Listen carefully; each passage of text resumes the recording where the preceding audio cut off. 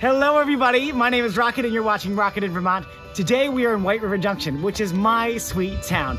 I'm here to tell you not about the one, the two, the three, the four, but the 14 different places that you can come to get something delicious to eat or drink. It is actually quite rare that in a town of this size and a community this small that you can get this density of good small businesses to come and eat and drink and build community. Now all of these places are within walking distance, so you can park right down here and explore.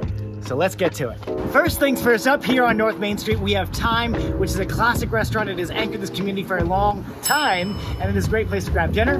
Coming this way, you can see right behind me, kitty corner here, we have Jewel, which is named after the owners, Julie and Elena. Get it? They serve really great health foods, smoothies, super, super delicious. You always leave there feeling light and refreshed.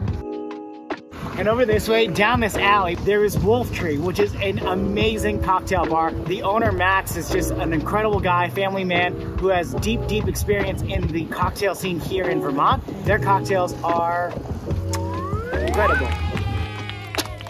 Just around the corner, about a minute walk away, you have the filling station, which is my favorite place to go. They have bluegrass nights on Wednesdays and Ava's Candy, which is locally owned by a beautiful family. And Ava is the daughter of that family. Apparently, she's a genius.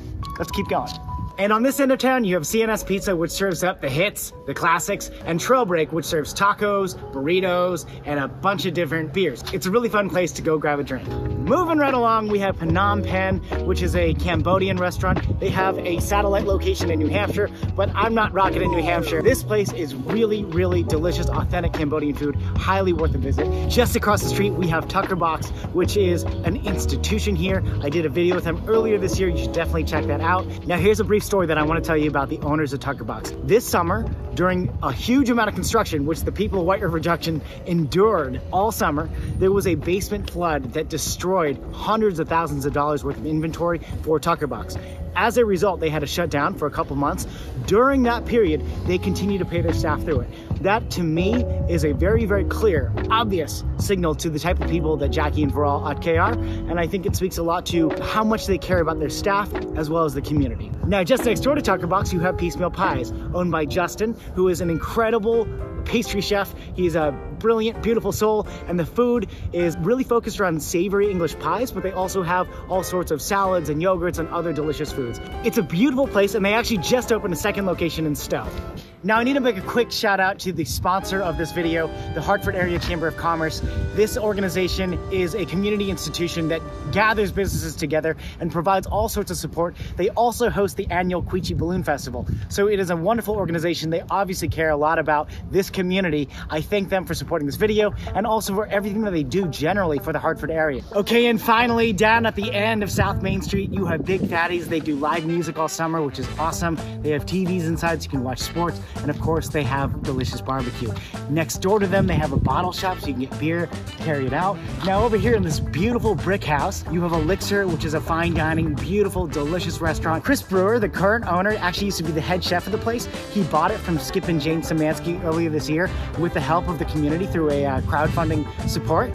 And he has done an amazing job carrying on that legacy. Now, if you walk down the alley right down here, there's a new place that is open, super secret, brand new, called Putnam's Vineyard. It is a very, very eye-popping place. It is lush, they serve wine, and I believe they're starting a coffee program soon too.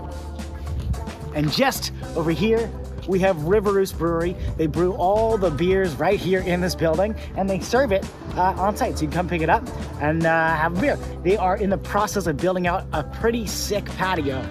So hopefully come warmer months, it's gonna be awesome. Now you may be wondering, where are all the cannabis spots in White River Junction? Truth is, there are none downtown, but just up the hill we have the Tea House, which is brand new. It just opened, it's locally owned, and it's beautiful inside. So you can come up here to visit.